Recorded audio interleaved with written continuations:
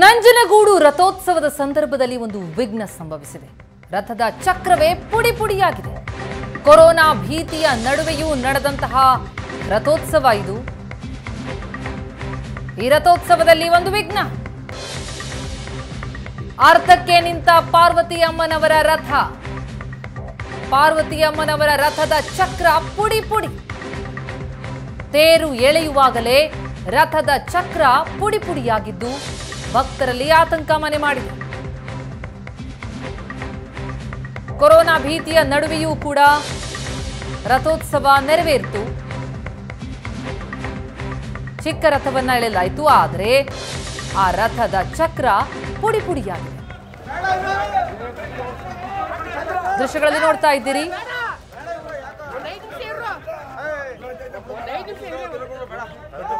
ರಥವನ್ನ ಎಳೆಯುತ್ತಿರುವಂತಹ ಸಂದರ್ಭದಲ್ಲಿ ಹೇಗೆ ಅಲ್ಲಿ ಚಕ್ರ ಪುಡಿ ಪುಡಿ ಆಯ್ತು ಅನ್ನೋದನ್ನ ನೋಡ್ತಾ ಇದ್ದೀರಿ. ಸಂಪೂರ್ಣವಾಗಿ ಪುಡಿ ಪುಡಿಯಾಗಿದೆ ರಥದ ಚಕ್ರ. ನಂಜನಗೂಡಿನ ರಥೋತ್ಸವ ಬಹಳ ಪ್ರಸಿದ್ಧ, ಬಹಳ ನಂಬಿಕೆ ಇದೆ. ಭಕ್ತರಿಗೆ ಆಗಲೇಬೇಕು ರಥೋತ್ಸವ ಅಂತ ಆಗ್ರಹಿಸಿದ್ರು. ಆದರೆ ಆ ಬಳಿಕ ಈಗ ರಥವನ್ನ ಎಳೆಯುವಂತ ಸಂದರ್ಭದಲ್ಲಿ ಚಕ್ರ ಪುಡಿ ಪುಡಿಯಾಗಿದೆ. ಎಸ್ ಈ ಬಗ್ಗೆ ಇನ್ನಷ್ಟು ಡೀಟೇಲ್ಸ್ ನೀಡ್ತಾರೆ ನಮ್ಮ ರಿಪೋರ್ಟರ್ ಮಧು ಈಗ ಸಂಪರ್ಕದಲ್ಲಿದ್ದಾರೆ. ಮಧು, ನಂಜನಗೂಡು ರಥೋತ್ಸವ.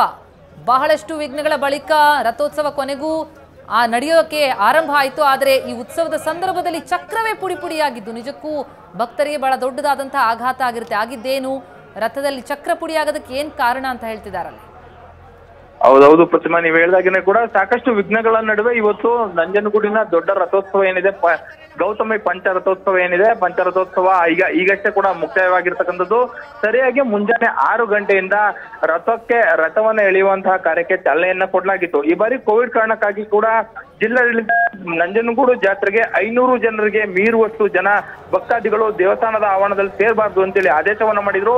ಈ ಕಾರಣಕ್ಕಾಗಿ ಕೂಡ ದೇವಸ್ಥಾನದ ಆವರಣದಲ್ಲಿ ಐನೂರಕ್ಕೂ ಹೆಚ್ಚು ಜನ ಸೇರದೆ ರೀತಿಯಲ್ಲಿ ಅಧಿಕಾರಿಗಳು ನೋಡ್ಕೊಂಡಿದ್ರು.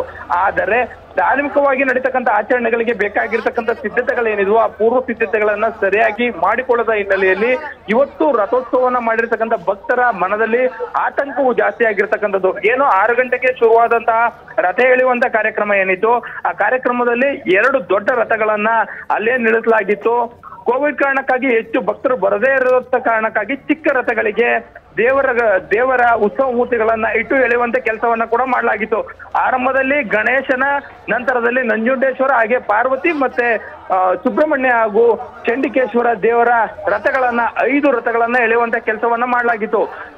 ನಂಜುಂಡೇಶ್ವರ ಹಾಗೂ ಗಣೇಶನ ರಥಗಳು ಹೊರಟ ನಂತರದಲ್ಲಿ ಪಾರ್ವತಿ ಅಮ್ಮನವರ ತೇರನ್ನ ಎಳೆಯುವಂತಹ ಕೆಲಸ ಆಯ್ತು. ಆದ್ರೆ ತೇರನ್ನ ಎಳೆಯುವಂತ ಸಂದರ್ಭದಲ್ಲಿ ಕೇವಲ ನಾಲ್ಕು ಉರುಳು ಉರುಳಿದ ನಂತರದಲ್ಲಿ ತೇರಿನ ಬಲಭಾಗದ ಚಕ್ರ ಸಂಪೂರ್ಣವಾಗಿ ಜಖಮ್ ಆಯ್ತು. ಅದು ಪುಡಿ ಪುಡಿಯಾಗಿ ಅಲ್ಲಿದ್ದಂತ ಮರ ಬಂದಂತಹ ಬಂದಂತ ಸಂದರ್ಭದಲ್ಲಿ ಜನರು ಆತಂಕಕ್ಕೆ ಒಳಗಾದ್ರು ನಂತರದಲ್ಲಿ ಆ ತೇರ್ನಲ್ಲಿ ಇದ್ದಂತಹ ಅಮ್ಮನವರ ವಿಗ್ರಹವನ್ನ ಮತ್ತೊಂದು ಗಾಡಿಗೆ ವರ್ಗಾಯಿಸಿ ನಂತರದಲ್ಲಿ ತೇರನ್ನ ಎಳೆದಿದ್ದಾರೆ. ಆದ್ರೆ ಇಡೀ ಘಟನೆ ಈಗ ಇಲ್ಲಿರ್ತಕ್ಕಂಥ ಭಕ್ತರಲ್ಲಿ ಆತಂಕವನ್ನ. ಮೂಡಿಸಿದೆ Pratima. Thank you so much Madhu. ತಮ್ಮ ಮಾಹಿತಿ.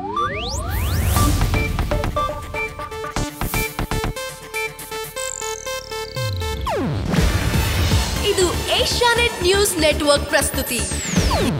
ನೀವು ನೋಡ್ತಿದ್ದೀರಾ ಏಷ್ಯಾನೆಟ್ ಸುವರ್ಣ ನ್ಯೂಸ್.